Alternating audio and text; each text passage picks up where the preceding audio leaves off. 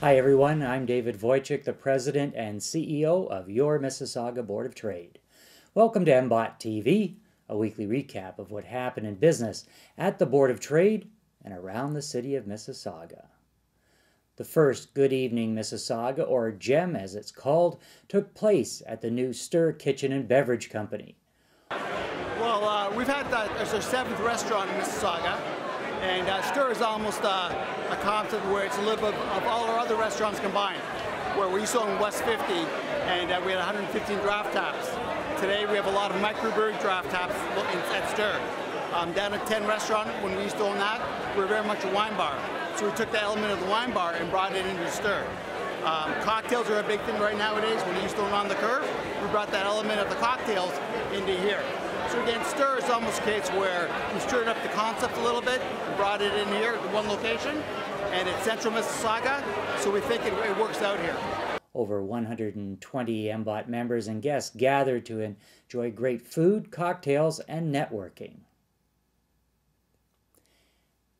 MBOT plans to continue the GEM events on a quarterly basis and will increase the frequency of events at members' request. Dr. Harinder Ahluwalia made a presentation to the Policy Committee outlining how Canada must move from a resource based economy to a knowledge based economy. Dr. Ahluwalia stressed the importance of governments to fund programs to support more technology based startup companies. The Policy Committee also did an initial review of the 36 resolutions to be discussed at the upcoming Ontario Chamber of Commerce annual general meeting.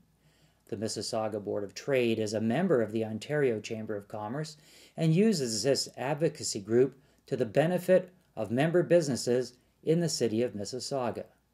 This year's AGM is being held in Oakville from April 28th to May 1st. The China Bound Travel Group met for their final information session. The group of 23 travelers will leave for the Far East trip on April 16th for nine days. Among other cities, the group will visit Beijing and Shanghai. City developer Iggy Kaneff had his 90th birthday party last week. A packed room of well wishers gathered at the Mississauga Convention Center to celebrate and raise money for Mississauga Community Living. On the dais to speak about the iconic Bulgarian born Kaneff was Iggy's two daughters Finance Minister Charles Sousa, well known Rogers TV man Jake Dheer, Mayor Bonnie Crombie, and former Mayor Hazel McCallion. The recent Ontario budget talked about how the cap and trade legislation will impact business in Ontario. The legislation is designed to reduce carbon emissions in the province. Environment Minister Glenn Murray will address the Mississauga Board of Trade on Monday, April 18th regarding cap and trade, as well as climate change initiatives and how they will affect and impact Ontario business. The Mississauga Steelheads played the Barrie Colts in Barrie on Saturday, and as Barrie took a 3 2 game lead in the best of seven series.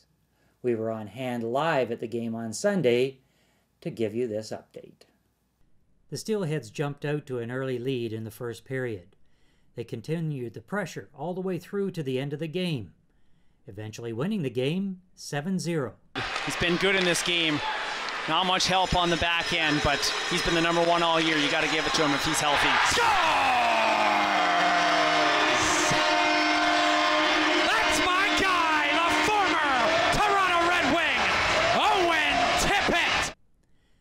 The series comes down to one game in Barrie on Tuesday night. Here are some upcoming events at your Mississauga Board of Trade. On Wednesday, April 6th, Membership Matters continues with an orientation session for new members. Existing members are welcome to attend for a refresher on the benefits of membership at MBOT. On Wednesday, April 13th, Good Morning Mississauga. This month's breakfast networking event is at Markland Wood Golf Club. Markland is also the site for this year's MBOT Golf Day in June. And the next signature event on Thursday, April 14th, the 55th anniversary Party of the Year, the Masquerade Gala, honoring our three past chairs Karen Ross, Paul Wolford, and Jeffrey Percival. Special guest of honor and recipient of this year's Mississauga Board of Trade Lifetime Business Achievement Award is Gil Moore, the founder and president of Metalworks. Special guest presenter of the Lifetime Award will be none other than Gil Moore's friend, Tom Cochrane. Get your tickets now. This event is sure to sell out fast. You can find out details about these and other stories by visiting www.mbot.com. Until next week, this is David Wojcik, wishing you all the best success in your business.